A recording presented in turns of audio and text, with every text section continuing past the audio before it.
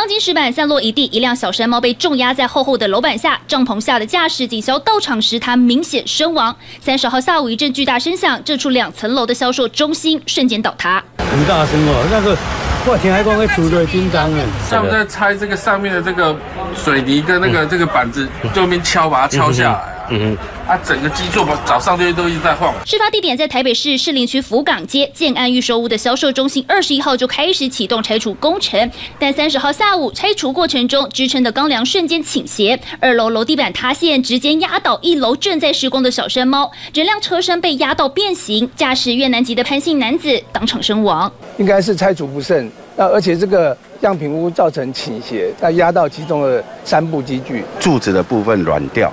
所以导致整个倒下来的速度太快。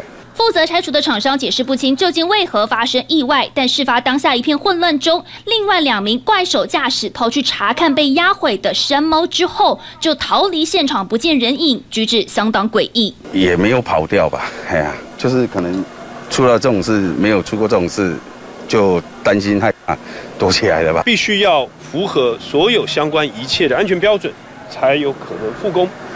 那劳检处这边也初步好，先针对违反治安法的部分好来开罚，最重就是三十万。小山猫驾驶命断工地，家属赶到现场也崩溃痛哭，瘫软在地。市府下令建安勒令停工，后续不管是负责拆除作业的工程单位，还是承包销售中心的广告公司和建商，都将进一步厘清责任疏失，所有安全标准确认后才能复工。东森新闻由举讯吴茂林、黄媛采访报道。